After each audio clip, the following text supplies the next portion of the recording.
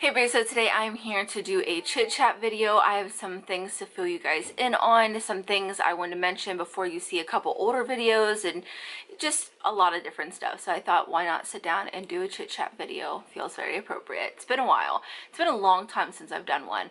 So if you're new here, new to my channel or my videos, I do these chit chat videos every once in a while just to kind of fill you guys in on life and what's going on. And I don't show my older two kids, so I kind of give you updates on them, but you will see them periodically. I just don't advertise it. So yeah, I just wanted to mention first and foremost about some older videos. Actually, first, let me apologize of the lighting in this video. I'm doing the best that I can work with here in my bedroom. You guys know I have like a LED light in my nightstand table lamp and then I have a very yellow light above me. So it makes it look like I've got yellow walls and a yellow background but my face is like a combination of both. So we're just trying to work with it because it's quiet in here and my family is actually cleaning the rest of the house. So let's just let them do that right? So anyways I want to talk to you guys about some older videos that are going to be going up before you see newer videos. Basically, there'll be two. The first one you're going to see is a 39 week pregnancy update I filmed that, just never got around to editing and uploading it, and I just am going to go over the last, I think it was seven weeks of my pregnancy, because I think the last pregnancy update here on my channel is at 32 weeks. And I filmed it, and I gave you guys a bump shot, and I felt like there was enough developing in those last few weeks that I still want to upload it, especially even just for myself, but I didn't want to confuse you guys, because I know I obviously uploaded a you know introduction to baby video. And then after that you're going to see a day in the life where I'm still pregnant. And I filmed that because someone wanted to see a day in the life before Lexi got here and then one after she got here and then be kind of close together. Ironically enough the day that I filmed the day in the life, that night my water broke. And the whole video I'm saying, oh, this this is probably to be like our last normal day. And it, it was going to be for several different reasons, but it actually ended up being our legitimate last normal day as a family of four. So that was kind of funny. And I'm going to upload that because you guys wanted to see it and also because I made it so why not upload it? So i'm going to be uploading those two i'm still very much pregnant in those.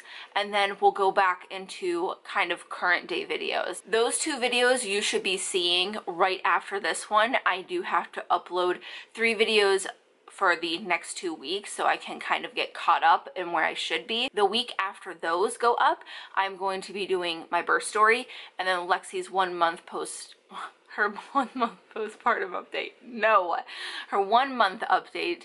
And then after that, I'm going to be doing a collab with my friend Brady, again with kind of a grocery video. And then the week following that, you'll get a one month postpartum update and a review that I will leave a little bit of a mystery, but I'm sure you guys could figure it out if you can put some things together.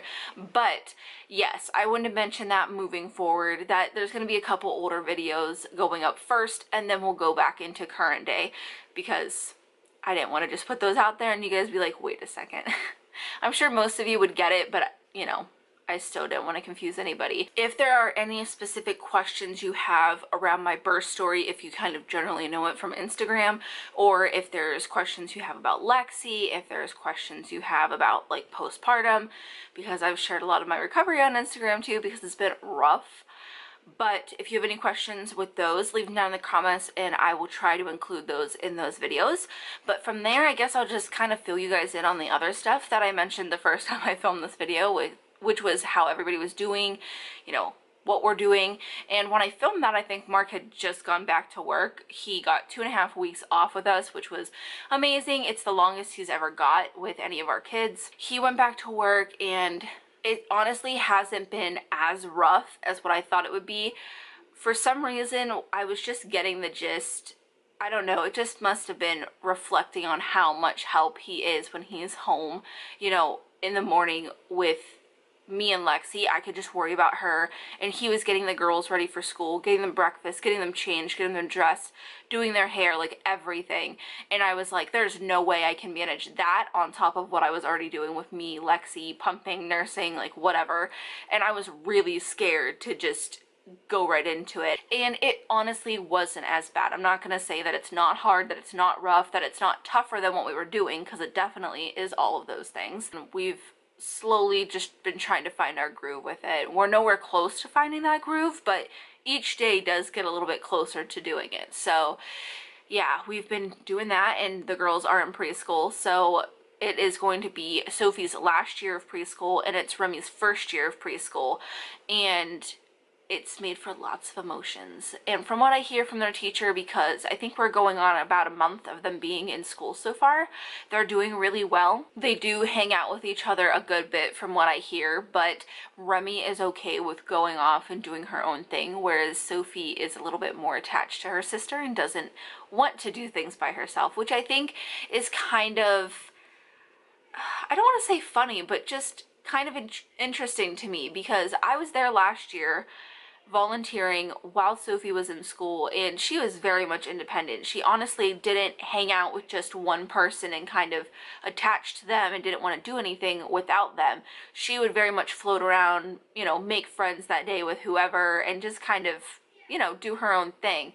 And I'm sure it has to do with her sister. I'm sure it has to do with also having another little sister that she's probably a little bit more attached to Remy. But I just found it super interesting because Remy when we go out places can be a little timid and shy without Sophie.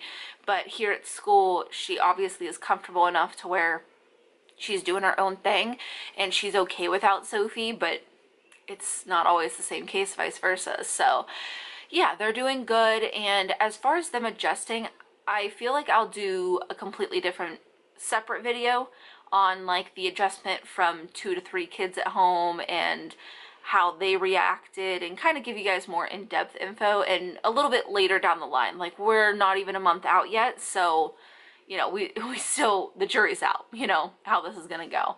I still think that there's definite time for you know them to swing completely the opposite direction. But so far it's been really good. There's no jealousy or anger or any kind of negative feeling towards lexi. If anything we have to encourage them to not love on her quite so much because they want to do it at all hours of the day no matter what's going on with her. Even if she's trying to nap we just want to smother her with love. And sometimes we have to encourage loving from afar because as luck would have it, Lexi actually seems to be the kid who's most sensitive to sound. Like with both Sophie and Remy, they would kind of sleep anywhere and even with Remy, it didn't matter how loud Sophie was, she would pretty much sleep. And it's still true to this day. Remy is our most sound sleeper. She's the one who loves sleep the most. And because of that, she would just kind of sleep through anything and everything, and she still does.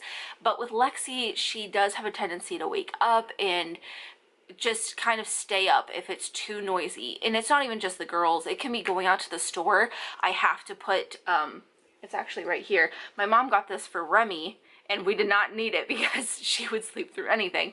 But my mom got this, um, I think it's Cloud b. Yeah.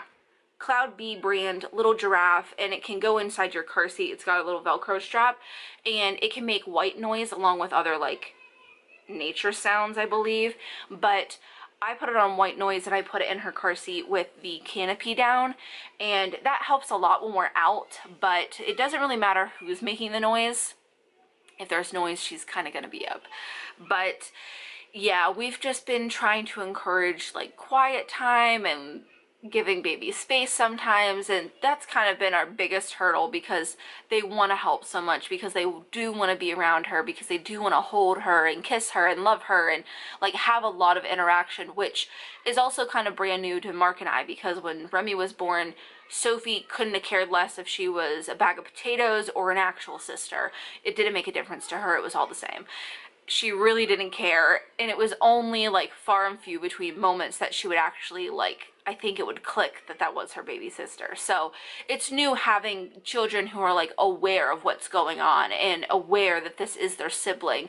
So we've just all been trying to navigate that. And as far as like them, I feel like they've been doing pretty good. We have had some attitude issues and I don't think that has to entirely do with Lexi. I think it also has to do with age.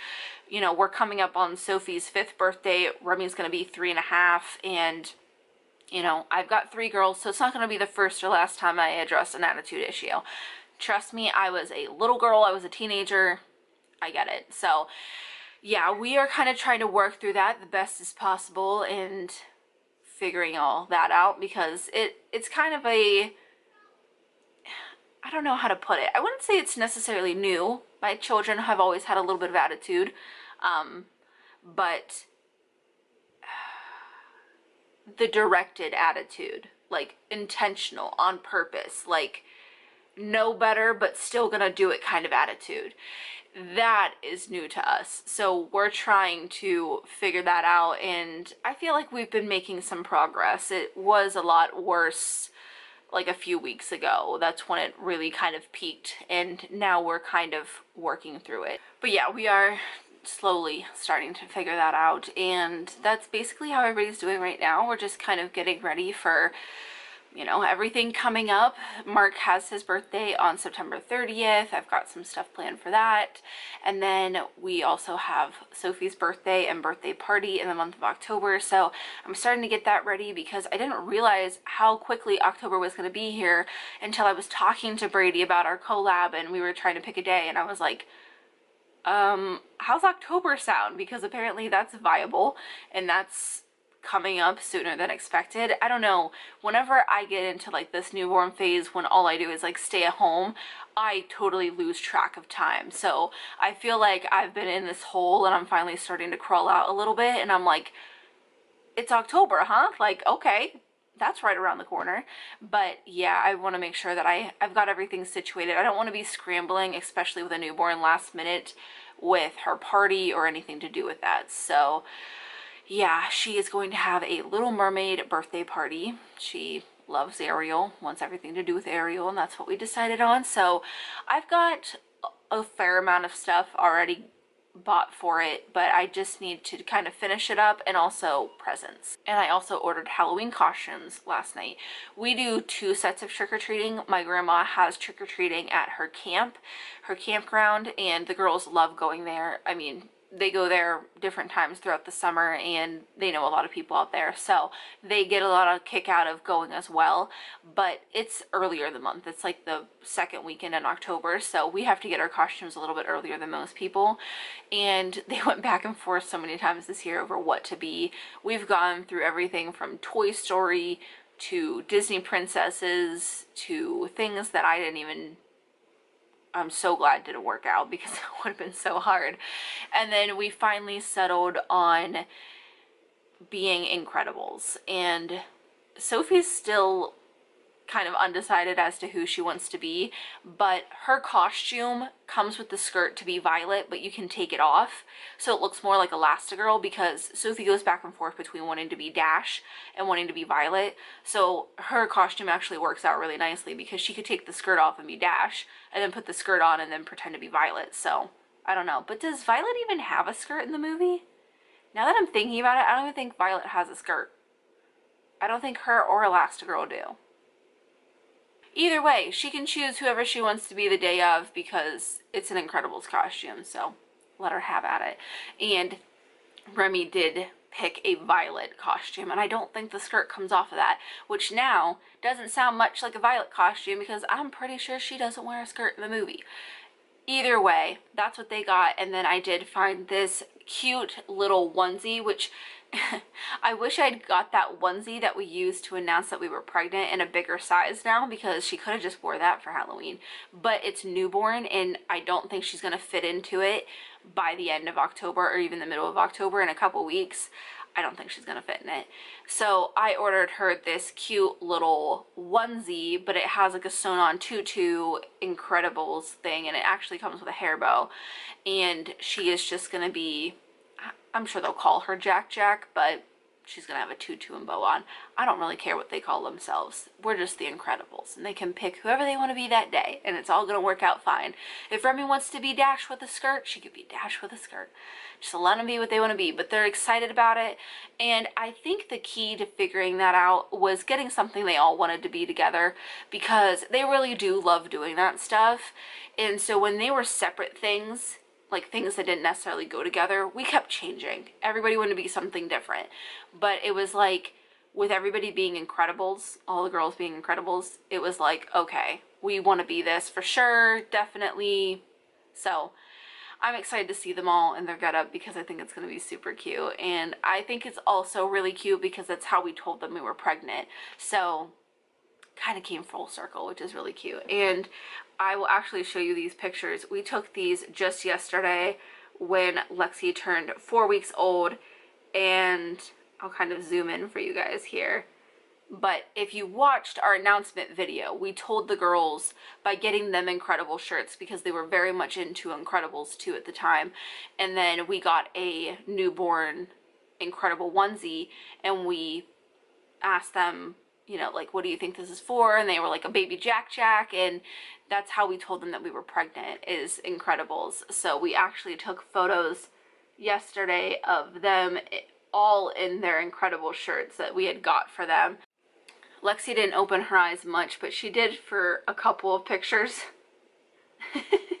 you know, she obviously can't show a ton of emotion right now, so, you know, she kind of looked more just deer in headlights and anything, but it was super cute and you know, to kind of see that come full circle. But yeah, that's everything that's really going on right now. I'm going to be having those updates pretty soon for you guys, you know, so you guys can be in the know of what happened and get caught up as well so we can start moving forward and into stuff that is like current day in the lives or favorites videos and stuff and it's not completely kind of out of left field for you guys. I just want to come on here, fill you guys in, talk a little bit about what was going on.